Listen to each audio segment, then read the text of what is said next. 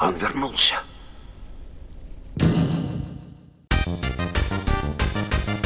Привет, мои адекватные и абсолютно разумные подписчики! Честно скажу, будь моя воля, я бы и дальше сидел с писюном перед телевизором, но долг главного шизофреника Ютуба обязывает меня раз в какое-то время выходить на сцену и с писюном в руках сидеть уже перед вами. Однако, шутки без шутками, но насчет кое-чего конкретного мы сегодня с вами поговорим. Да, вот так сходу. Большую часть своей карьеры интернет-клоуна я провел делая ролики по играм, а в частности по квестам. Помните Урожайск, Кирандию, Тень кометы, а? Не помню. Правда, в нашей истории они не более чем доминошки в цепной реакции. Каждая доминошка, каждая игра была безумно интересна, но так уж вышло, что я так и не поведал вам про тех людей, которые эту цепную реакцию запустили. Притом людей непростых, отнюдь нет. Самых настоящих легенд – легенд во всех хороших и плохих смыслах. Этот ролик является первой главой в рассказе особом. Нас ожидает дорога, мощенная плитками историй успехов, падений, радостей, шизы, страхов, похоти и множество других эпитетов, чьи значения жутко искривляются в геометрической прогрессии. Дамы и господа, Прошу вас присаживаться поудобнее. Мы начинаем. Вот согласитесь, что в такие моменты хочется выпить что-то освежающее, но не дешевое и безвкусное, а яркое и премиальное. Например, Имба! Кстати, сейчас стопы продаж снова в наличии у имбы и со скидками аж до 37%. Чё, как вам такое слюнки течь начали от таких горячих скидок? К слову, роликов не было очень давно, а потому, думаю, многие из вас уже и забыли, что имба — это первый в РФ и СНГ крафтовый энергетический напиток в удобном формате и стильном аниме-дизайне. Запоминайте и закрепляйте слюрпе имбо. Ну а сейчас немного полезных для мозгов циферок. Имба не стоит на месте, постоянно поднимая уровень качества своих энергетиков. В составе используются только высококачественные ароматизаторы из Германии. Содержание натуральных компонентов и ароматизаторов в 5-8 раз выше по сравнению с баночными энергетиками, а вкус имбы больше напоминает натуральный свежевыжатый сок. Это озвучено, если что, чтобы вы не забывали, кто здесь на рынке энергосами командует. Кстати, долгожданные алды имбы вернулись в обновленном и стильном формате. Ребята усовершенствовали формулы, тебе для одной порции нужно положить всего одну-полторы ложки, а в одной банке тебе 20 порций, это целых 7 литров энергетика, будет хватать на дольше. А для самых запасливых остается формат на 40 порций, а это уже 14 литров. Кто у нас бибика, кому налить 14 литров энергетика? Мне, но бак вот-вот рванет. Ладно, говорить каждый мастак. Как у нас говорят, критикуешь, предлагай. Правда, я тут ничего критиковать не собираюсь, но вот вкусы посоветую. Вкус с любовью из Кубани. Микс сочетает в себе сладкий виноград, насыщенный гранат и сочные лесные ягоды. Как по мне, очень похож на ежевичное вино. Также дикая клубника сочный и освежающий вкус дикой клубники. Ммм. Кстати, этот вкус очень популярен, и его осталось очень мало, так что поспеши. А вкус персик-черника я успел урвать со скидкой 37%. Да, вот такой я. Мне тут имбу на халяву присылать, но я как настоящий контркультурщик покупаю ее сам. И, конечно, не стоит забывать и о других вкусах, ведь каждый из них прекрасен в своем сочетании. Просто если вы забудете, то вкусы будут очень сильно грустить. Сегодня на сайте имбы как раз проходит акция на легендарные вкусы и горячие новинки. Акция действует ограниченное время, так что поспеши. А ты чё, дурак, сидишь тут без имбы? Не упускай уникальный шанс приобрести горячие новинки, а также свои фавориты по приятной скидке. Делай заказ прямо сейчас по ссылке в описании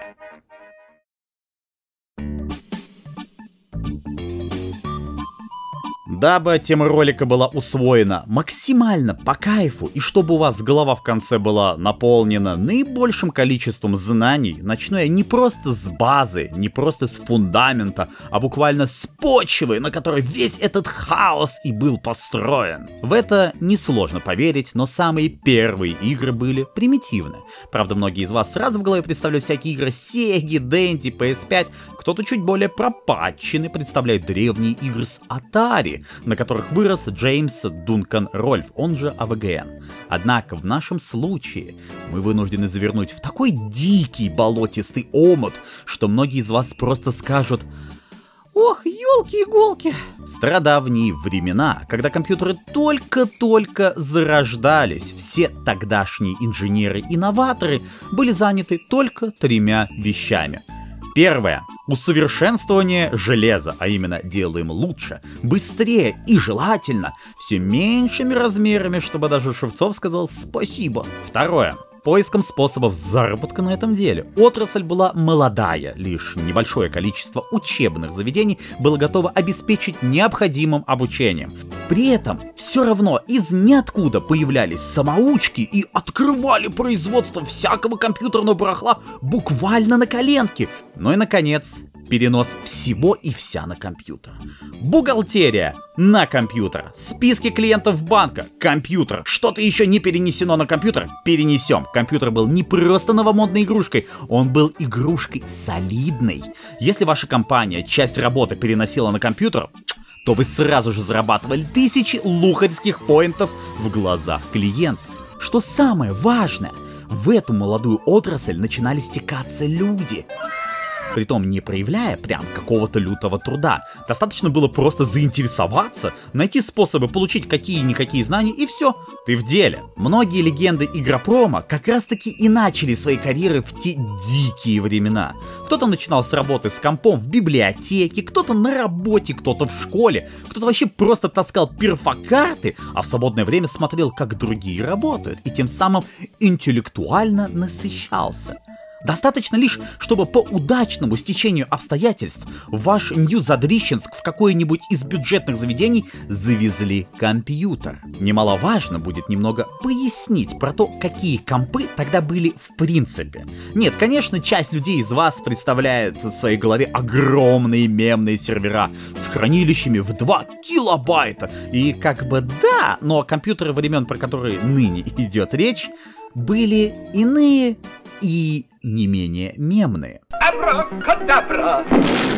Это были времена компьютерных терминалов, телетайпов, времена, когда популярным монитором была не плазма и не пузан. Нет, это были времена, когда монитором была бумага. Я не буду вдаваться в подробности, но скажу, что в те времена компы были настолько огромные, что отдельно был большущий комп и отдельно стоящий компьютерный терминал. Разумеется, адекватные мониторы не заставляли себя долго ждать, но очень долгое время люди чаще ориентировались сугубо по бумаге. Софт, разумеется, соответствовал. Это были времена перфокарт и перфолент тогдашние хранилища данных, если что.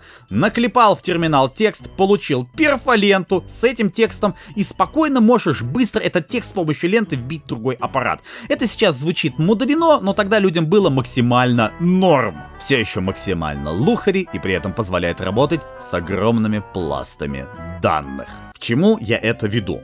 Можете не верить, игры тогда были. Безусловно, многие шарящие знают про Space War 1962, аркаду Pong от Atari и т.д. Ох уж эти истоки видеоигр, да-да-да. Однако, куда более важным и более любопытным примером является игра Star Trek 1971 года за авторством Майка Мейнфилда. Почему эта игра так важна? Ну, начнем с того, что это чуть ли не одна из первых полноценных пошаговых игр, а во-вторых, в отличие от Space War и Pong, в эту игру можно было играть на бумаге. Игра имеет текстовую графику. Тамошняя внутриигровая карта была размером 8 на 8, и на этой карте игрок управляет кораблем Enterprise. Да, там сражаешься с клингонцами, что-то стреляешь и т.д., но важно не это. Игровой процесс представлял из себя вот что. Игрок вводил в терминал команды, сам терминал передавал данные на мейнфрейм, а после распечатывалась бумага с обновленной картой. То есть в игре один FPS буквально был равен листу бумаги. Безусловно, можно было в подобные игры играть и на более новых системах, так многие и делали. Правда, это надо было удачно жить рядом с каким-нибудь лухарским предприятием, чтобы такую машинку хотя бы увидеть. Игры тогда были. И по тамошним меркам это было ого-го. Правда, подобные увлечения были буквально для гиков. Нет, даже не для гиков, а для пораженных задров. Торговли игр как таковой не было. Игра передавалась из руки в руки, из универа в универ, из производства в производство. Продавался в основном софт, да и то в комплекте с техникой. Однако эти самые задры уже задумывали, что, мол, «Хей, а я ведь тоже могу писать софт и те же самые игры. Индустрия сама располагала к этому. Пример. Домашние компьютеры становятся популярнее. В одно время продавались печатные издания, содержащие в себе буквально длиннющие столбы кодов, которые стоило человеку вбить в комп, как воля, на мониторе у тебя находится игра. Как тебе такое, Хидео Кадима? И люди реально так и делали. Да, тратишь на это не один час, Зато у тебя по итогу на руках имеется собственноручно созданная игра. И как бы, допустим, ты юный задр, допустим, студент, и ныне желаешь создать свою игру. Что ты будешь пытаться сделать? Конечно, всякие японцы всегда были новаторами и клепали универсальные дикие вещи, до которых сам никогда не допрешь. Однако среднестатистический отличник студенота из Нью-Пердольска парень по натуре простой – он не будет для компьютера придумывать новые вещи, нет. Он на этот компьютер будет переносить вещи уже существующие. Допустим, легенда игростроя Ричард Гэрриот подумал, что было бы классно перенести ДНДшный опыт в цифру. Так у нас появилась Ultima. По такому же принципу появились Wizardry, Меч и Магия, Глаз Бихолдера, Bard's Tale, а в будущем уже всякие Гримроки и так далее. Таким макаром вы, по идее, уже должны понять, что с появлением компьютеров перенос всего и вся в цифру стал новой навязчивой идеей того поколения. Самой лютой, значимой и необычной цифровизации подверглась литература. Однако никто даже предположить не мог, по какому необычному пути пойдет эта ветка развития компьютерного софта. Некоторые личности неожиданно подумали, «Хей, а почему бы цифровую литературу не сделать, ну, интерактивной?» И тут-то все и закрутилось. Интерактивная литература — Подобное явление ныне принято называть текстовыми квестами, и в этом нет ничего неверного, однако на те времена такого понятия как квест в принципе не было. Самой первой игрой в подобном жанре можно назвать Colossal Cave Adventure 1976 года за авторством Уильяма Краутера. Разумеется, он был ДНДшником, но в третью очередь он был программистом, во вторую любителем полазать по горам и по пещерам, а в первую он был разведенным мужчиной, который очень желал развиваться развеселить своих малых гоблинцев. Мне не хватало общения с детьми. К тому же я перестал исследовать пещеры, так как чувствовал неловкость, поэтому решил подурачиться и написать программу, которая воссоздала бы воображение мои исследования пещер, а также была бы игрой для детей и, возможно, использовала некоторые аспекты Dungeons and Dragons. Моя идея заключалась в том, чтобы сделать компьютерную игру, которая не будет пугать детей, не владеющих компьютеров. И это была одна из причин, почему я сделал так, чтобы игрок управлял игрой с помощью ввода слов естественного языка, а не более стандартизированных команд. Мои дети считали, что получилось весело. Colossal Cave Adventure представляла из себя текстовую программу, где достаточно простым способом можно было влиять на происходящее. Внутри программы двигаешься по гигантским пещерам, находишь всякое и типа веселишься. Сложность управления минимум, впечатлений максимум. Но самое смешное так это то, что наибольшую популярность игра получила после того, как на нее обратил внимание Дон Вудс. Он связался с Уильямом и предложил улучшить игру. По итогу Дон Вудс игру расширил добавил фэнтези-элементы, и по итогу история про лазание в пещерах превратилась в историю про лазание фэнтези в пещерах с гномами, драконами, пиратами и т.д. Данный продукт получился просто медовейшим. Ну и разумеется, нашлись люди, которые посмотрели на это и подумали, вау, хочу сделать так же. Тут-то мы и подходим к рассказу о главных героях нашей сегодняшней истории. Кен и Роберта Уильямс. Кен Уильямс с юных лет был мамкиным, сумеречным гением бизнеса и маркетинга. Всегда работал на максимум, учился лучше всех и старался максимизировать КПД своего бытия. Я бы даже сказал, что его типаж — это торгаш-карьерист, который к своему делу подходит максимально с позиции эффективного душного шиза. И самое что удивительное — это то работало, то не работало. В юности его то и дело выпинывали с работы, буквально потому что тебя сюда наняли гайки крутить, а не умничать. Но в местах, где умных людей ценили, он быстро поднимался, упирался головой в потолок, требовал повышения по работе, и если его требования не выполняли, то искал профессию другую. Он буквально был похож на того человека, который в интернетах скрепку на дом обменял. Да, и как бы это ни было печально, но во всей нашей истории Кен Уильямс важен лишь двумя вещами. Он был гениальным торгашом, и именно он подарил игровой индустрии Роберту Уильямс.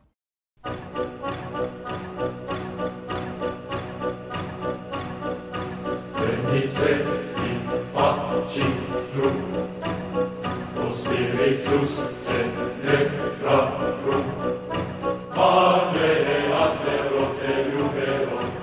Роберто Уильямс является, пожалуй, тем самым редким случаем, когда в игровую индустрию пришла ярая мужа-ненавистница, не-не, даже так, ярая человека-ненавистница и вместо разрухи с упадком принесла процветание, огромную кучу культовых игр, множество инноваций и побудила индустрию развиваться.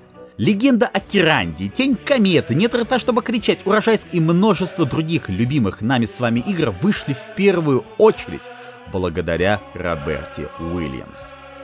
Сейчас я, пожалуй, отвечу на самый главный вопрос, который крутится в данный момент в головах моих зрителей. А это вообще кто? М? Давайте я скажу так. У мужской части интернета есть прикол считать литерали ми всяких сугубо злодейских персонажей, как Судья, Психопатыч, Спрингтрап, Педиатр из Аутласта, Михаил Андреевич и т.д. Что ж, я могу смело поздравить моих зрительниц с Body Type B. У вас появилась Роберта Уильямс. Готовьтесь, пацаны, если увидите у тянучки эту личность на аватарке, то лучше бегите, так как вам, скорее всего, в ретро отвертку запихнут.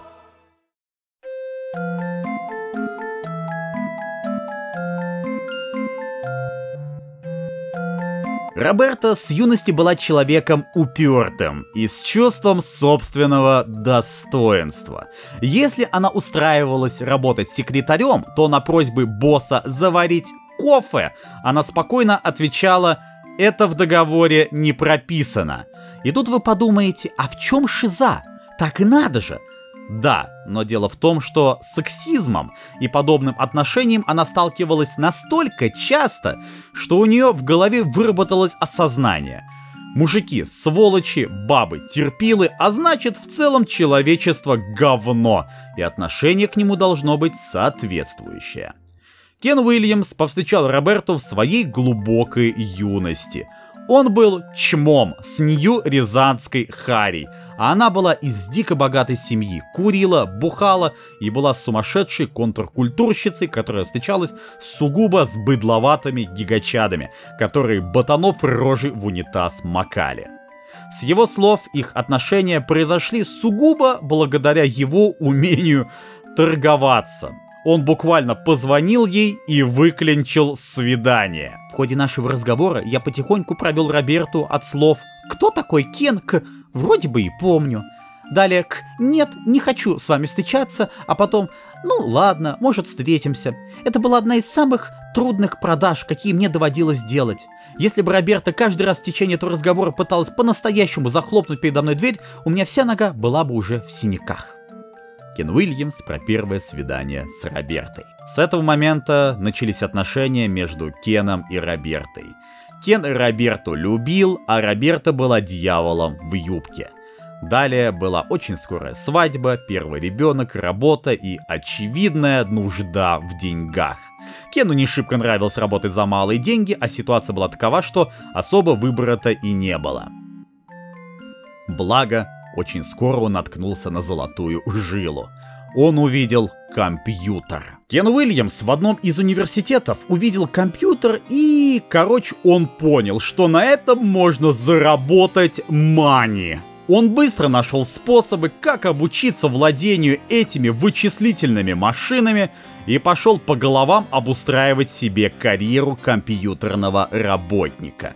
Начал буквально с того, что таскал перфоленты с перфокартами, бегал на подсосах и так ступенька за ступенькой, смена работы за сменой работы он дошел до солидных должностей на высоких зарплатах. Ну и поскольку Кен был экономическим разумистом, ему в голову пришла идея. Что лучше высокооплачиваемой должности в компьютерной компании? Может быть только две высокооплачиваемые должности в компьютерной компании. Аргумент про две высокооплачиваемые должности в компьютерной компании сработал.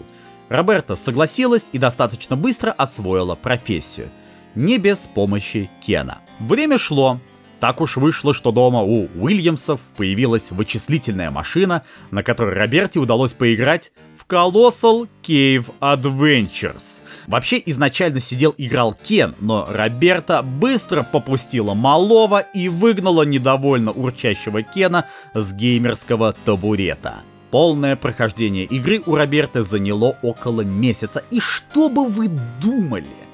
Наша малыха таки взяла и захотела тоже сделать такую же игру. Кен долго рвал себе пятую точку, чтобы додуматься до того, как обустроить Роберте рабочее пространство, чтобы она могла заниматься игрой. Притом она не хотела делать просто текстовую игру. Нет, она хотела сделать игру с картинками, и картинок было много. Короче, у Кена жопа была в мыле. Он даже купил Роберти Верса Райтер. Это, если что, особый аппарат, с помощью которого можно было переносить рисунки на компьютер. Кен даже переписал программное обеспечение специально под Роберту, чтобы ей удобно было работать. Кто-то из вас подумает, что мужик-то очень заботливый муж. Безусловно, это так. Правда, основной причиной является то, что Роберта была очень лютой психопаткой, которая скорее хотела сделать свою собственную игру. Игра, кстати, называется Mystery House и по факту была адаптацией романа Агаты Кристи «10 негритят». Там надо было понять, кто в доме кровавую резню сотворил. Игра была создана и сразу же стала хитом. Продавалась она так – Игра была упакована в зиплок со всякими бумажками. Кучи копий привозили в компьютерные магазины. Некоторые владельцы отказывались брать по причине «мы тут серьезную технику продаем, а не игрушки ссаные». Но благо таких было не так много. Остальные магазины сразу скупали все копии и добавки просили. А дальше все как в тумане. Все больше людей покупают игры, дополнительных людей начали нанимать для упаковки зиплоков, а потом начали снимать помещения, потом еще пару игр сделать надо было, и так собственно и появилась компания Online Systems. Первой серии игр был набор таких вот интерактивных приключений под именем High Res Adventures. Игры пользовались спросом, и Уильямсы этот спрос удовлетворяли. С ростом доходов компания переехала в Охрист, штат Калифорния, а саму компанию переименовали в Sierra Online в честь Sierra Невада. Это была эпоха тусовок, веселья и тотального развлекалова. Сиера была дружной семьей, которая любила делать игры и чилить. Они были юные, скандальные, даже выпустили игру под названием Soft Porn. Порева там, кстати, нет, я проверял. Там всего лишь главный герой пытается склеить тяночек, и все. Но название и обложка были горячими, а это главное. Это тут Роберта, кстати. Потом Уильямсы захотели заработать больше бабла. Рынок компьютерных игр был очень мал по сравнению с рынком актуальных на тот момент консолей. Поэтому они решили сделать ставку на консольный рынок. И все бы ничего, но картриджи были гораздо дороже носителей для компьютерных игр, а потому был риск. Уильямсы рискнули. Закупили картриджи на все деньги, и как назло сразу же случился коллапс индустрии видеоигр 1983 года, когда из-за перенасыщения рынка, халтуры со стороны издателей и выхода мега провальной IT с дальнейшим захоронением огромного множества этих копий под слоями бетона, люди полностью потеряли доверие к индустрии. Эй, Эй, я это уже видел, видел. Компания Sierra села в лужу и была на грани банкротства. В Sierra на тот момент работало более 100 человек.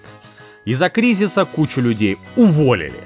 Осталась крепкая тридцатка людей, включая Уильямсов. Надо было как-то выкарабкиваться. Компанию закрывать не хотелось. А потому пара взяла кредитов под залог дома, срезала углы, где могла, и даже просила работников работать пока что бесплатно. Мало кто соглашался, но такие были. Вдруг случился IBM с их новыми компами, и на рынке случился бум компьютерных систем. Консолям тоже потихоньку возвращалось доверие благодаря Nintendo, но сейчас не об этом. Так уж вышло, что у IBM было очень тяжко с играми. Sierra заключила контракты с IBM, и тут пошел пожилой процесс. На горизонте маячила легенда. Роберт Уильямс и работяги создали игру под названием King's Quest — Quest for the Crown. Буду краток. Игра была не просто инновацией, а буквально взрывом башки. Но из-за того, что новая машинка от IBM, а именно PC Junior оказалась калом говна, продажи были грустные. Благо, из-за универсальности языка программирования игры King's Quest легко был перенесен на систему Tandy 1000. Эта система была абсолютно совместима с софтом IBM. На тот момент компы от IBM разлетались как пирожки. Сама компания проходила антимонопольную проверку и особо не воняла по поводу того, что тогдашняя Microsoft делала свою операционку и на другие аналогичные компы. Именно поэтому со временем наименование машин IBM PC потеряла IBM и PC начали называть буквально все компании компьютеры, совместимые с софтом, подходящего под IBM. Круто, да? Версия King's Quest 1 для Tandy 1000 является более доработанной версией, а потому людьми считается той самой. PC Compatible Tandy 1000. Вообще, предтечей King's Quest является другая игра от Sierra Wizard and Princess, которая была частью серии Hi-Res. Это текстовый квест с очень уродливыми картинками. Не зря Кен Уильямс говорил, что Роберта прекрасный разработчик, но отвратительный художник. Если вкратце, то там была простенькая фантазийная история про злого колдуна и игрока, который спасал принцессу. Мы еще успеем с вами вспомнить об этой игре, Пока же все, что нам надо знать, игра была фантазийной, и именно фантазийную тематику Роберта и решила развивать. Как и любая олдовая игра King's Quest, начинается не с запуска, а с открытия мануала, в котором написана предыстория сюжета игры. Именно отсюда и начинается легендарная мизантропическая шизофазия Роберта Уильямс, где мы можем наблюдать те самые садистские первые шажки. Да, квест про сникерсов это так, разогрев. Давным-давно в государстве Давентри, которое я буду называть Давентрия, жили ее жители и король Эдвард с королевой без имени. Все были счастливы и все было в целом по кайфарику, но так уж вышло, что у короля с королевой не было детей, а детей иметь ой как хотелось. Именно с этого и началась череда несчастий. Однажды государю пришел колдун и пообещал дать им ребенка взамен на магическое зеркало, по которому король с королевой видели будущее и могли предугадывать, когда собирать урожай. Эти двое посмотрели в зеркало и увидели там принца в короне. Разумеется, они поверили, что это их будущий сын, и потому отдали зеркало. Колдун исчез, ребенка им взамен не дав, а в Давентре впервые был потерян урожай. Наступил голод. Потом смертельно заболела королева и не было ей лекарства. Тут неожиданно пришел гном с магическим корнем. Свой мясистый корешок он приложил к губам королевы и ей стало лучше, но до полного выздоровления этого было мало. Едвард подумал, что если скормить королеве весь корень, то она точно выздоровеет. Гном попросил замен щит, перешедший королю от отца. Щит мог спасти от любой угрозы и был лучше, чем щит Капитана Америки в миллион раз. Гном забрал артефакт, королева съела корень и, жидко пукнув, умерла. Потом король Эдуард спас от волков молодую кралю, замутил с ней и жарил ее каждую ночь. Все двигалось к свадьбе. Но в итоге кралей оказалась старая мерзкая ведьма, которая посмеялась так неприятно и украла из сокровищницы сундук с бесконечным золотом. По итогу Давентрия обнищала, ее бесконечно атаковали разные государства, всех грабили, убивали, всюду бушевал голод, а Эдик был на грани смерти без тяночки и без преемника. И что бы вы думали, на какой гениальный ход решил пуститься Эдуард? Верно, взял какого-то рыцаря Косипоша по имени сэр Грехом и сказал ему «Верни все украденные у нас артефакты, и будешь ты королем после моей смерти». Какой гений, как у него все просто, ну чисто Александр Киренский. Предыстория «Мое почтение», сплошняком радость, позитив и ноль удручабельных тони. Молодец, Роберта, хоть на ночь детишкам читай. Самое смешное, что в будущем в серии выйдет книга, где всю эту предысторию увеличат, добавят деталей, шизы и редконов. Но это уже совсем другая история. Игра была куплена еще в стародавние времена в GOG, и именно оттуда я ее и запускаю.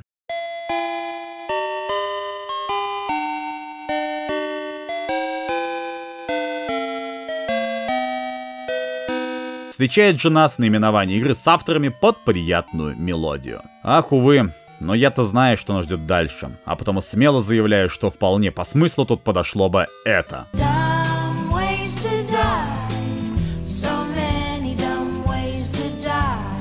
Нажимаем любую клавишу и сразу же без прелюдии нас кидают в электронную берендейку. И вот она, игра. Я понимаю, что сейчас в наше время она выглядит как говно. Однако прошу все-таки свой скептицизм пока что брать в сторонку, ибо в это сложно поверить, но она реально меня удивила. Я веселый говноед, и не надо мне конфет. Начнем с малого внешний вид. Графика максимально простая конкретно для нас, а вот по тем временам это был фурор. Ибо до этого в сюжетных играх графон был примерно таков.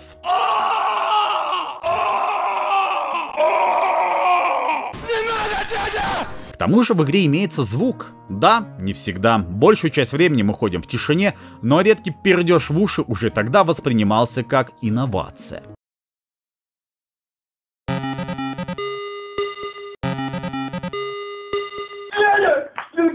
Лопнули! Но самое главное тут управление. Предыдущие игры от Sierra были текстовыми, а потому и управление было через текст. King's Quest же задавал новую мету. Главный герой двигался через стрелочки, и это было уже гораздо лучше, чем постоянно писать Our so-called leaders prostituted us to the West. Но тем не менее, остальная часть действий была сугубо через текст. Чтобы что-то подобрать, надо писать в консоль. Pick up something. И под something я имею в виду конкретное название предмета, будь то knife или carrot. Поскольку игра у нас запущена, предлагаю немного походить и посмотреть, э, чё почем. Попервой я обратил внимание, что помимо стрелочек можно и управлять персонажем через мышку. Однако, как по мне, управление через мышку тут такое себе. Через стрелочки удобнее. Я отошел от замка, увидел какое-то озеро и мост. Тут внезапно происходит что-то. Как только ты подходишь к мосту, появляется вредный, уродливый тролль. Он не даст тебе пересечь мост. Вместе с звуковым пердежом появился тролль. В ритмичном вилянии попы, подобно самка притечки, он преградил сэру Грехому путь. Что делать, непонятно. Слово «непонятно», наверное, как нельзя точно описывает мои первые впечатления. Я бы даже сказал, что это одна из причин, почему я так долго не брался за данную серию игр. Какие-то уродливые деревья, звук пердит, а что делать, не ясно. Но и вишенкой на торте является это.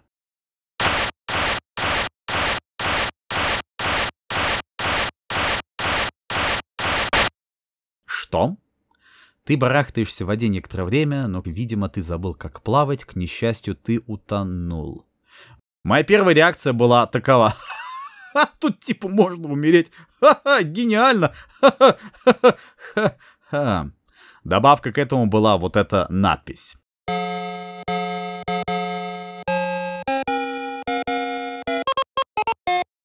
Мы, Сиерра, хотим поблагодарить тебя за игру в Кингс Крест. Нам жаль, что ты не преуспел в этом деле, и надеемся, тебе повезет в следующий раз. Удачи! Ну, типа, вы поняли, да? Типа, надеемся, вам повезет в следующий раз, там, удачи, и музыка такая тути-ту-ту, тути-тупу. К слову, из воды можно выбраться, надо просто вбить в консоль команду Swim, и Грехом начинает свимить. И конкретно на возможности умереть в данной игре мы сейчас и остановимся.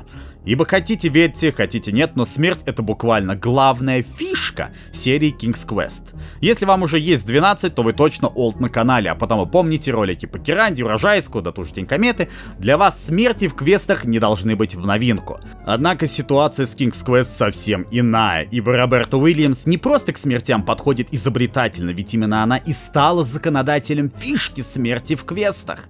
В квестах от Sierra смерти это не просто чуханское окошко с game over ом, это буквально произведение искусства. И в течение игры вы это осознаете в полной мере. Несчастье наносит удар, и ты падаешь в ров. Твои крики и попытки вылезти привлекли голодных аллигаторов. Они не дадут тебе уйти.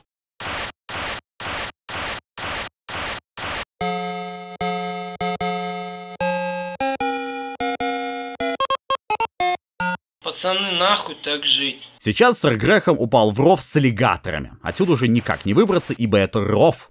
Даже Суим не поможет. Ну и дабы не мучить вас еще дольше, давайте уже перейдем к делу. Первое, с чего нужно начать, наша адвенчер, это очевидно с посещения короля Эдварда. Для этого надо дверь открыть буквами, пройти и, собственно, вот он. Вокруг ни души, ни стражей, ни поломойки, ни даже куртизанок с членами и клавратами. Только он один-одинешенек, а на заднем плане флаг Башкортостана. Получается, мы в Уфе, что ли? А почему король черный? Я не расист ни в коем случае, просто толерантно. А я такое люблю. Король говорит вкратце то же самое, что и было в предыстории игры. Щит найди, зеркало и сундук. Ну, это видим на случай, если ты дурак и книжки в реальной жизни не читаешь. После аудиенции сэр Грехом снова в суровом жестком мире. Увы, в данной игре сейчас мы вынуждены придерживаться тактики «тыкайся во все подряд, трогай, толкай и щупай». Вот, допустим, сейчас мы толкнем камешек. Этот движущийся камень катится вниз с холма, и ты, к несчастью, на его пути.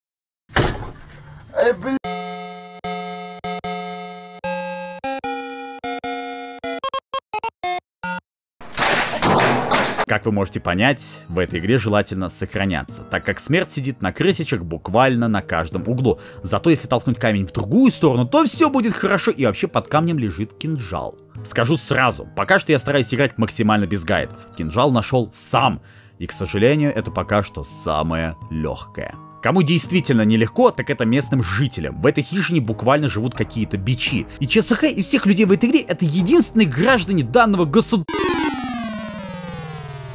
Эти бедные люди даже не могут себе позволить починить их пол. Прости за это.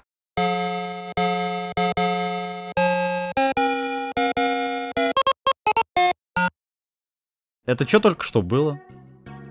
Грехом буквально провалился в дырку в полу и умер. Это какая глубина должна быть под полом, чтобы наш герой насмерть разбился? У них там что, бездна под полом? Срали их с Ференхан, Герхана Монтана?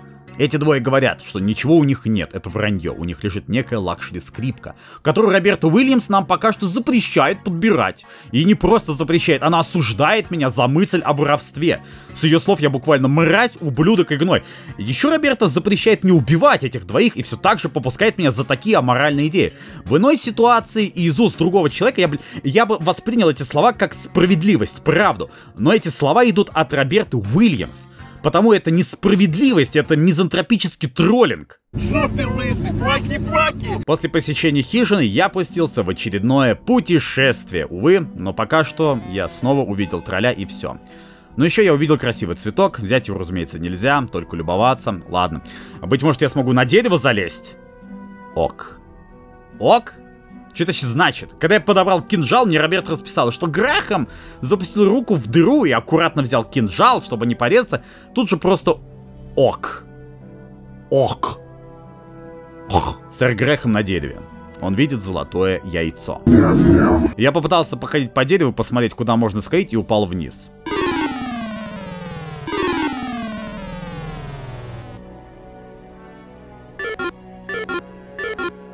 Я удивился, что герой не умер, превратившись в месиво. К слову, яйцо мы забираем, но по факту оно вообще не нужно. Большую часть сокровищ можно не подбирать, ибо порой единственная их ценность это очки. Чем больше очков, тем более успешно ты прошел игру.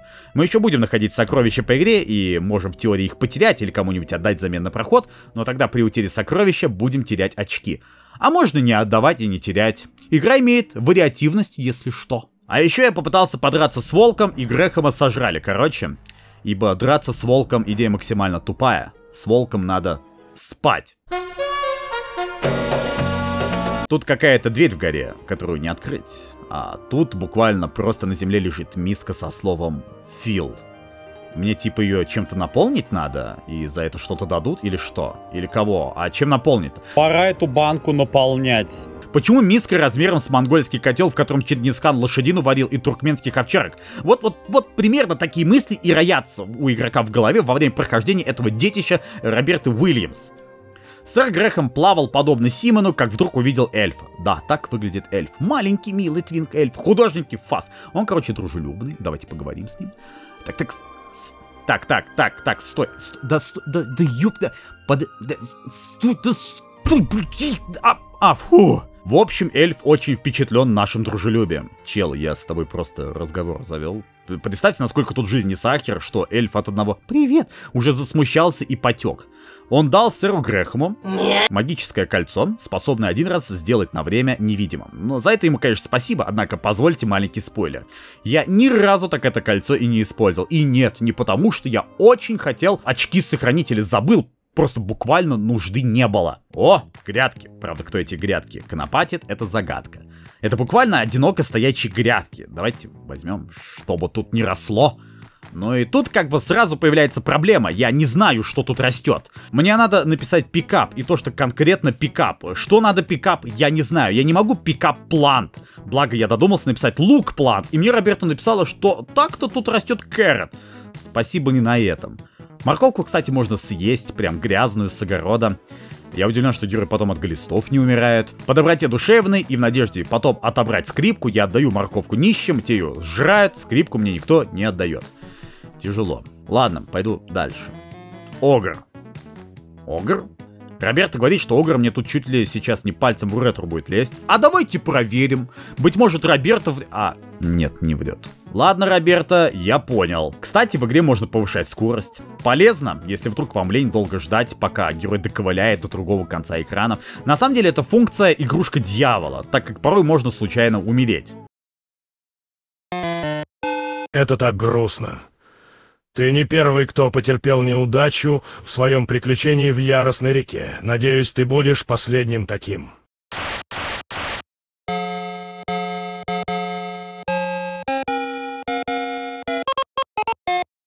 А теперь тест на разумизм. На этом экране находится предмет, который мы можем пикап, который нам может понадобиться, но который нам не понадобится вообще. Я, дабы не показаться пред вами дураком, на стадии сценария показал этот экран другим людям, и никто не догадался, что тут нужно пикап, поэтому давайте подумайте вы. Если вы еще не догадались, это буквально, но не очевидно. Короче, это камешки, и тут я сейчас буду ругаться. У этой гейм есть две проблемы. Неочевидность и нарастающая квестовая паранойя. Поясню.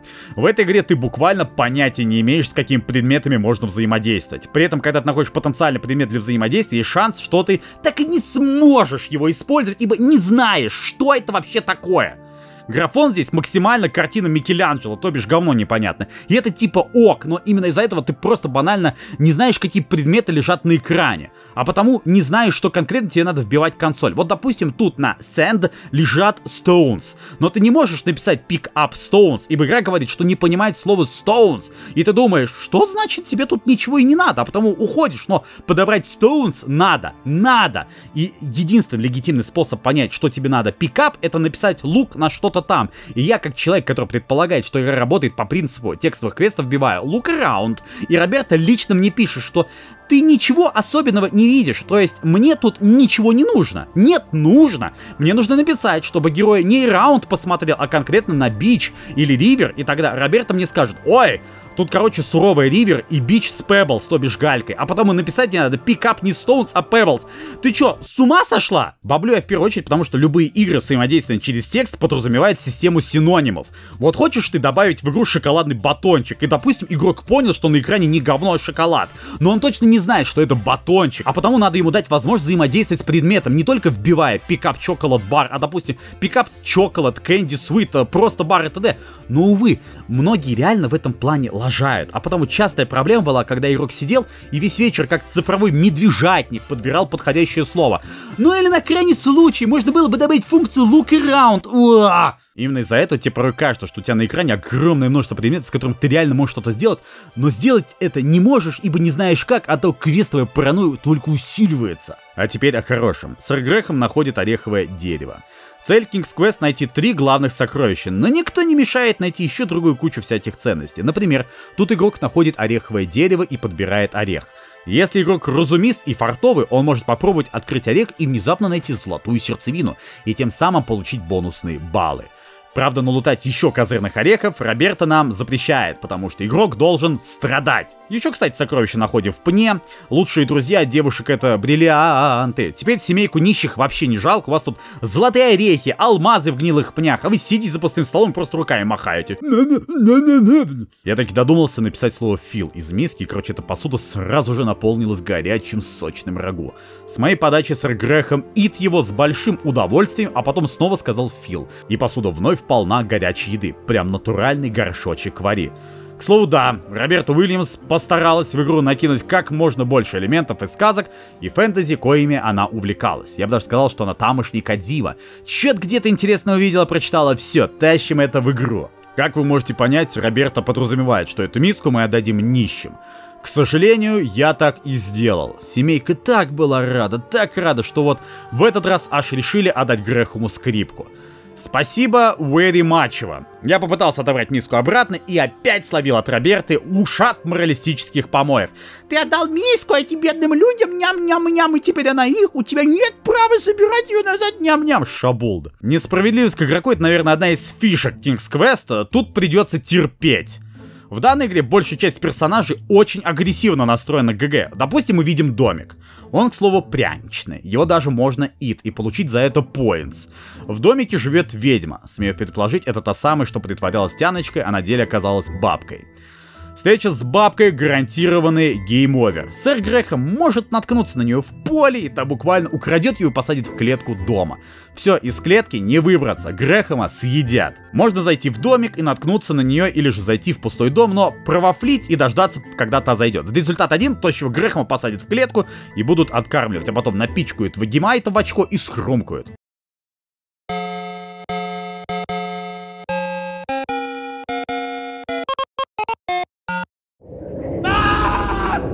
Я скоро блевать буду от этой мелодии. Но, разумеется, выход есть. Надо зайти в дом, спрятаться в комнате, дождаться, когда та растопит печь, и на крысичек написать рядом с ее филейной жопой «Пуш Вич». Ой, твоя попочка вообще возбуждает.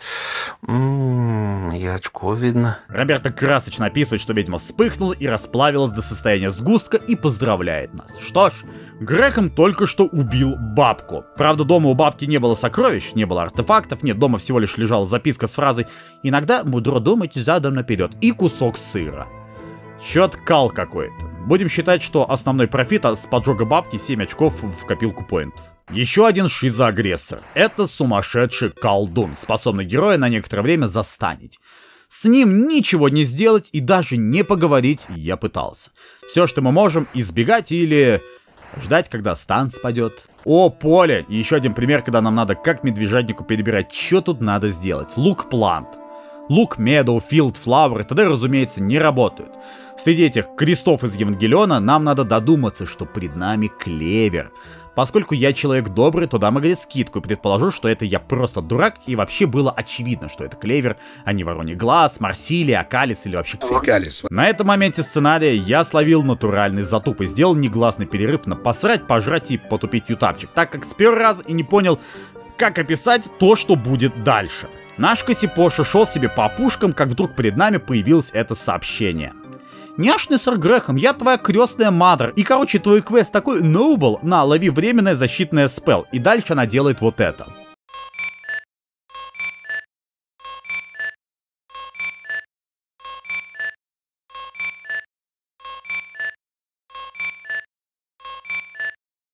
Я пытался с ней поговорить, но Роберта мне сказала, тебе ничего не надо говорить или делать, ничего, короче. Она полетела, попикала и наложила заклинание «Все». Стоит ли говорить, что эта защита мне так и не понадобилась? И что он достаточно быстро выветрилась? Мне кажется, если бы эта шаболда меня в унитаз превратила, а потом использовала бы, то было бы гораздо больше пользы. Козлик. А что с тобой делать? Честно, я не знаю, что с ним делать, но сам факт, что я увидел козлика, я так и решил задокументировать.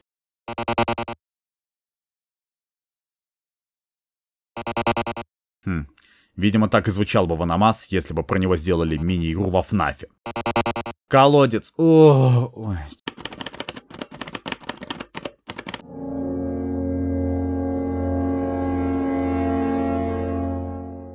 Честно скажу, игра мне безумно нравится. Сиера я уважаю, а Роберту Уильямс неиронично считаю одним из величайших людей в индустрии игр и жму чресло губами, но так уж вышло, что большую часть ролика я не то чтобы ругаю, скорее шизу даю с происходящего, и этот колодец не будет исключением. Колодец это не какое-то мимолетное событие, а полноценный игровой эпизод, вокруг которого завязано несколько событий. Во-первых, это одно из двух мест, где мне понадобился кинжал. Кинжалом нельзя покалечить тролля, огра или волка и даже нищих не срубить, но зато кинжалом можно срезать ведро с веревки. Это все равно, что презервативы на рогатки пускать. В колодец надо спуститься, но не просто прыгнуть, иначе ты сделал ошибку, колодец слишком глубок для прыжка. Будь осторожен в следующий раз. Мы с Сиерой в шипотину с тебя лохопедус. Аж три таблички с разами, дабы нас точно убедить, что мы чмо. Я так не был унижен даже с ральником из Фиренхантер. Чтобы спуститься в колодец, надо опустить веревку, то бишь роуп. Чтобы опустить роуп, надо додуматься и понять, что конкретно надо написать в консоль. И нет, это не покрутить рычаг, не использовать рукоятку, нет, надо буквально написать lower rope чтобы герой крутанул колесо колодца. Ёптать. Но это буквально меньше половины дела. Теперь надо грамотно спуститься. И ни в коем случае не отходим влево-вправо, ибо тогда падение и смерть. Тебе нужно чуть больше практики в лазании по веревке.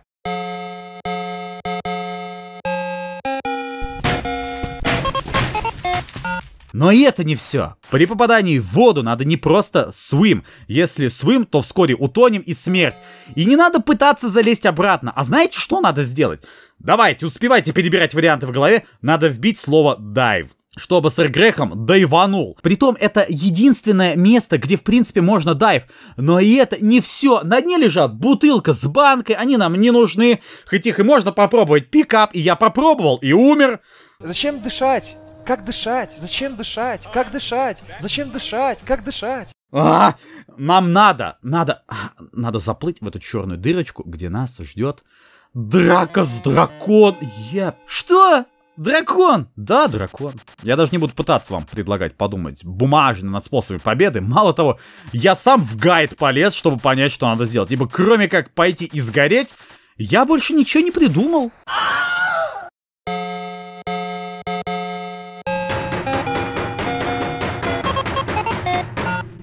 Есть два пути победы над драконом, и оба вроде как шиза, а вроде как логично. Первый способ — использовать кинжал. Нет, не драться с драконом на ножах, не пырнуть себя. Надо кинуть в дракона кинжал, кинжал попадет прямо в сердце, и это дракона ваншотнет, но... Это, конечно, вариант, но в корне неверный и нам невыгодный. Второй способ. Способ настоящего дрочила ума, который додумается ведром с водой плеснуть дракону в пасть. Дракона это не убьет, но зато он огорчится и опозоренный сей действом отодвинет камень, преграждающий выход из пещеры, и уйдет смотреть легенду о динозавре. Ну и срань. Я понимаю, что многие из вас испытали прилив веществ в голове от такой шизы, но не спешите. Это далеко не самый топовый highlight колодезных приключений. Внимание, зрители! Вопрос на миллиард чукотских баксов. Что это за срань? Я предположил, что это щит. Вбил пикап shield.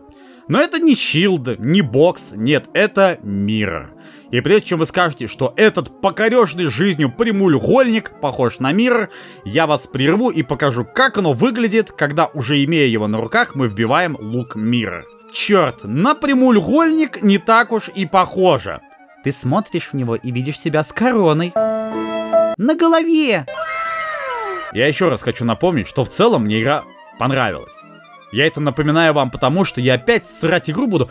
Ибо, ну а как тут не срать? На выходе из пещеры нас встречает дружелюбная птица. И она реально дружелюбная. Вот уж что-что, а Роберто честный человек, а не депотутка какой-нибудь. То, что нам надо сделать, это сраный караулища. И бомблю я сейчас опять, так как был унижен, позорно унижен нуждой пойти в интернет гайдить, что мне надо сделать. И я честно скажу, это не тот случай, когда смотришь гайд такой, о, это так было очевидно. А вот и Найн нам надо сейчас бегать по полю и постоянно прыгать, как конченый дурак, в надежде, что птица полетит по нужной нам траектории и унесет сэра Грэхэма на какой-нибудь лужок, где мы сможем подобрать уменьшающий грибочек магический, которыми, видимо, епифанцев и закидывается как тики-таками. А ты не ешь грибы! А ты не ешь грибы! Нет, это не нарезной батон, это дыра в земле, куда нам сейчас и надо. Господи ты, боже мой!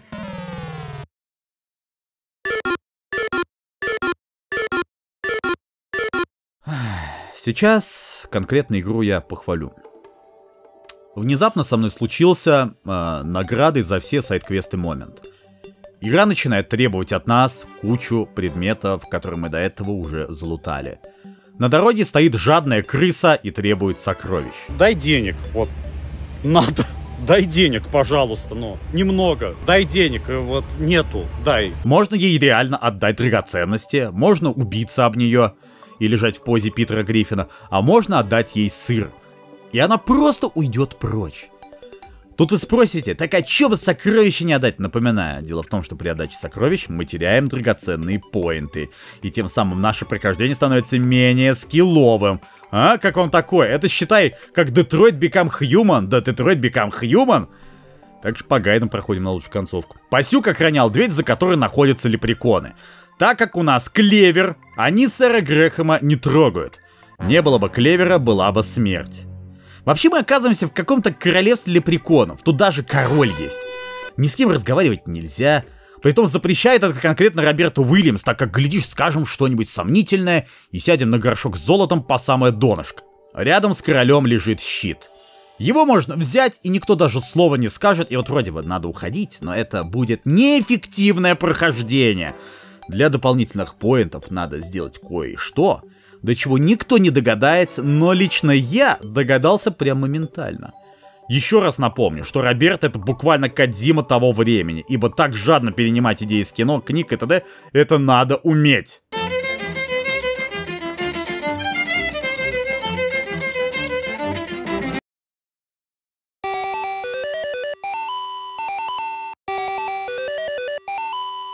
Ах, Роберта, какая ты шутняра. Таким макаром все лепреконы уходят. Сэр Грехом лутает еще и скипетр. Бур. И тут он типа ест гриб и лезет в дыру.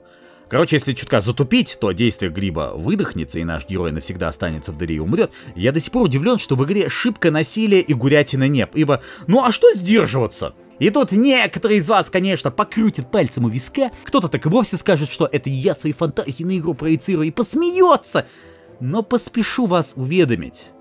Примерно такие игры Роберта Уильямс в будущем и стала разрабатывать.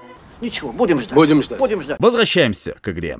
По идее, я сделал все, что мог, но так и не решил главную загадку — тролль на мосту. Сразу скажу, если вы не читали, а вы не читали сказку про трех козликов Грув, то вы даже и близко не поймете, что надо делать. Я вот не читал и в очередной раз опозоренный тем, что не догадался сам, а я бы сам не догадался, был вынужден залезть в гайд. Надо взять и морковкой приманить козлика к мосту с троллем.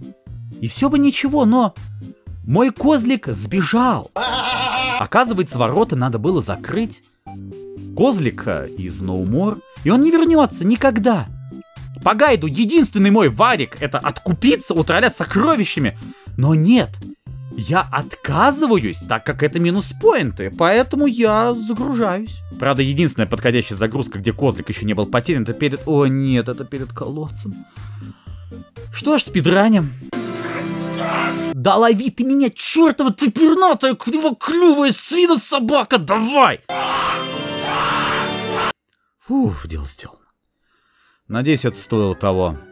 Пошли, Васятк. Сейчас козел потлатого тролля бить будет. Хорошо известный факт, что козлы ненавидят троллей сильно. Тебе нужно отойти, дать козлу сделать свой работу.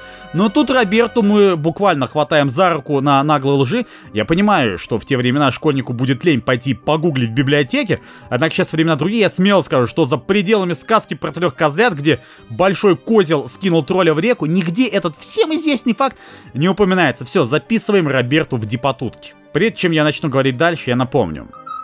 На самом деле игра мне очень нравится. Это правда. Она разнообразная, относительно красивая, в меру жесткая и обладает множеством совершенно разных способов словить game over. Однако, как бы это ни звучало страшно, но самый жмых шизофрении и бреда еще впереди. На этом этапе Роберта окончательно решила, что игрок для нее это не потребитель годного контента, а жертва для потенциального троллинга. За троллем живет маленький гном, который говорит, что у него есть кое-что годное. Это годное он отдаст, если мы угадаем его имя с трех попыток. Вы сами можете предположить, как его зовут. И мы уже сталкивались с вещами, которые подсказывают его имя. Вы можете поставить ролик на паузу, просмотреть все заново, но я вам гарантирую, что вы никогда не догадаетесь, как его зовут. Сразу скажу, я поначалу в гайд не лез. Очевидно, что эта ситуация отсылка на сказку про Румпельштильцхена, и это правда. Однако его имя не Румпельштильцхен. Этот тварик не подходит. Потом я вспоминаю, что находил в домике ведьмы записку. Иногда мудро думать задом наперед. Я подумал, хей, быть может это подсказка, что надо написать его задом наперед, и нет. Этот вариант не подходит, но забегая вперед, я скажу, что потом я таки через гайд узнал, что эта подсказка как раз, как раз таки подходит. И тут ты, галочка, сейчас жижанешь. Отгадка является наизжопный алфавит. Ну ладно. Наизжопный алфавит — это классическая и самая простая методика шифрования секретных посланий. Суть его такова. Ты берешь и весь алфавит ставишь задом наперед. Если в оригинальном английском алфавите под цифра 4 будет буква D, то в наизжопном алфавите будет буква W. И именно таким макаром и надо переписать Румпельштильцхена в Ифн, Ко, В, Х, Г, Ро, Г, Х, П, Ф, Р, М. Роберта, эм, ты... Ты что, бредишь, что ли? Та, как... Как...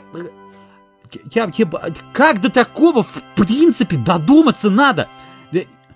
Награду за это гном дал нам магические бобы. Вау. А, нет, нет, стоп. Вы меня сейчас конкретно извините, но именно эта загадка является одним из примеров, почему многие игроки, журналисты, да и даже разрабы, другие, троллировали Сиера за шизофреническую сложную сложность их квестов. Если вы смотрели Тень кометы, смотрите, если не смотрели, то помните ту загадку с проявлением фото, где надо было прям реально, как в жизни, в нужном порядке закидывать химикаты, чтобы проявить фото. Эта загадка была шизой, но ее реально можно было пройти, если в реальной жизни сходить в библиотеку и узнать, как проявлять фотографии. Тут же просто, буквально, непроходимая шизофрения. И это я, конечно, забегаю вперед, но именно благодаря такому подходу Роберта Уильямс убила целых двух зайцев. Одним камшотом. Затроллила игроков и открыла моду на самый ублюдский способ заработка продажа гайдбуков. Господи, если бы вы знали, вы бы заплакали, насколько в эпоху Сиера и Сиера подобных квестов хорошо продавались квесты и гайдбуки к ним, или как они это называли, хинтбук. Буквально к каждому квесту заранее готовился к продаже гайдбук, который потом скупался как горячие пирожки от лавет. И самое, и что самое поехавшее, так это то, что квесты Sierra именно за это и любили. Любили за ее сложность и требовали еще еще сложнее, еще заковыристее. В этом плане аудитория Sierra была очень похожа на фанов игр Миядзаки. Разумеется, в первую очередь игры нравились за сюжет, за веселье, за графику, кучу рофлов и огромное множество окон game over а, но одним из важнейших пунктов была сложность. Они хотели еще сложнее, старались до талого проходить без подсказок и обязательно хвастывались между собой, что вот я прошел так, в гайдбук я не лезла, только под конец или же вообще, да, еп, и это, господи. Так что не знаю, а, быть может, мы реально втянемся, и со следующих частей азарт будет расти, расти и расти. Ладно, поиграем увидим. Теперь насчет бобов. Их надо посадить на полянке, из них вырастают огромные стебли прямо до небес. И ёб твою мадр и пикап carrot. Дальше произошло то, за что я уже успел пожалеть, что решил снова взяться за старые игры, а не сделал ролик по чинному модно столкач ради изи-пизи просмотра. По стеблям надо подниматься. Но подниматься надо максимально аккуратно и с постоянными сейвами, так как герой постоянно падает.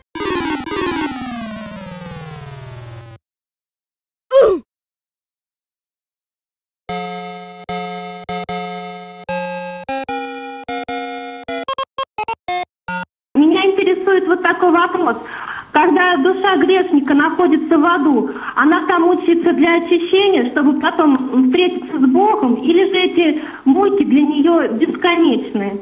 Скажу прямо, я в душе не лук раунд, по какому паттерну тут надо двигаться и на что надо ориентироваться, чтобы не сигануть в самый низ, а потом просто двигался и ПКД сохранялся. Геймплей мой выглядел так. Круто поднялись, да? Нет, таких экранов еще прокарабкаться два надо. Таким макаром сэр Грехом оказывается на небесных землях. Землях, с которых неожиданно для себя достаточно легко сигануть вниз. Упс, ты не заметил край и упал сквозь облака, ням-ням. И как бы ржет над нами рыжая бестия по имени Роберта. Вот, вот как понять, что туда идти не надо? Из-за облаков? Э, так тут тоже облака, а мы спокойно идем дальше. Ну, Мэднес. На этих землях единственной нашей целью является Giant, который ходит с тем самым волшебным сундуком с бесконечным золотом. Благо, у героя есть магический щилд, и Giant ничего сделать не может. А вот мы очень даже можем. Мы можем через прощу шмальнуть гиганту той самой галькой, то бишь Педалс, прямо в его Chocolate Eye. Но это не путь разумиста.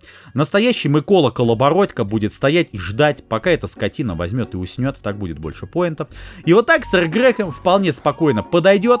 Ой, твоя попочка вообще возбуждает. Ммм, и очко видно. Сделает pick up chest и... И все. Все три артефакта у нас. Получается, мы выполнили тот самый King's Quest? Yes! Теперь как бы осталось вернуться к королю. А, но путь наш а, будет идти через лестницы. Тут мы... Тут мы подходим к главному highlight у данного ролика. Вы видели до этого загадки с именами Едем, видели, кучу смертей, колодец, плавание, поднятие по стеблям и много другой шизы, но лестницы... Лестницы это чуть ли не главный мем в фандоме King's Quest. Тут Стейрос это даже не головоломки, это отдельный персонаж. Персонаж настолько любимый и ненавидимый, что энтузиасты запилили отдельную игру под названием Stair Quest, а спидранеры ее то и дело проходят. Начнем с того, что по лестнице просто так не спуститься.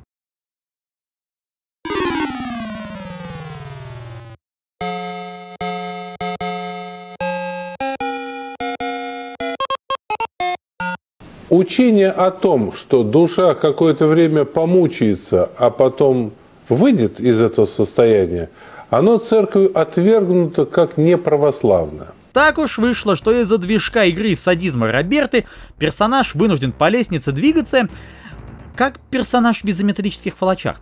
То есть ты не можешь, то есть ты не жмешь пойти вперед, нет, ты жмешь влево, вниз, влево, вниз, влево, вниз, влево, вниз, влево, вниз, влево, вниз, влево, вниз, влево, вниз, влево, вниз, влево, вниз, влево, вниз, влево, вниз, влево, вниз, влево, вниз, влево, вниз, влево, вниз, влево, вниз, влево, вниз, влево, вниз, влево, вниз. И так игроку надо пройти все. Четыре экрана. Это, чтобы наверняка, да? Да, да. Влево, вниз, влево. Самое смешное, что в первой игре это еще самая легкая лестница. В дальнейшем там вообще... Ну, ну ладно, об этом потом. Все. Теперь пора идти в забок. Конечно, перед этим несколько раз навернулся с моста, потому что пространственное изображение здесь говно нереальное, однако на это уже откровенно наплевать. И вот сэр Грехом у короля. Он кланяется ему, докладывает об успешности квеста. Король говорит, что сэр Грехом молодец, и, сразу же ему становится плохо.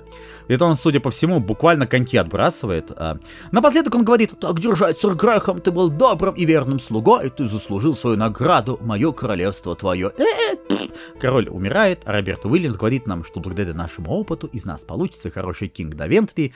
Все, занавес, конец титра, и я, конечно же, не набрал максимальное количество очков. Я не знаю почему, не знаю как, я, видимо, где-то что-то упустил, где-то что-то сделал не так, но я что, должен был с самого начала смотреть в гайд, чтобы выбить все на все максимально. Я вот, я, ой, господи, как я, вот просто, я, я сейчас, вот, вот, я сейчас член достану, начну по не, микрофону, короче, у меня сил уже больше нет. И это был King's Quest 1, мои дорогие друзья. Давайте сейчас максимально честно. Вот... А, вот как вам игра? Я-то, разумеется, тот еще старый пердун, но несмотря на все шизы недостатки игры, вырви сральные загадки, траблы с управлением, все равно получил удовольствие. и то, что в гайд вынужден был лезть, лезть. Приятно свой багаж игрового опыта наконец-то закинуть игру, которая является тем самым зернышком, из которого выросло целое древо жанра. Жанра квест. Все верно. Игра оказалась настолько великолепной, впечатляющей, значимой, что сама Сьерра решила на этом не останавливаться и запустила поток других квестов. А все остальные разработчики и издатели будут за ними повторять. Прекрасное ощущение, что я наконец-то долистал до первой страницы истории этого жанра. Роберто Уильямс, конечно, тот еще кадр, и именно из-за этого, из-за ее фирменного почерка, из-за ее видения, упертости по жизни и ненависти к человечеству, в принципе, игры и были любимы народом. Но что скажете вы? Я буду рад занырнуть поглубже и рассказать вам, что из всего этого вышло. Этот ролик про столь замечательную и важную игру лишь легкое предисловие. Аперитив. Как вы помните, я сказал, нас ожидает долгая и достаточно заковыристая дорога. Впереди нас ожидают драмы, истории успехов, поражений, взлетов и падений. Истории великого грандиозного, громкого и красочного пути. Пути в темное и жуткое никуда. Именно потому не печальтесь, но страшитесь. А на сегодня все, мои дорогие друзья. Не прощаемся.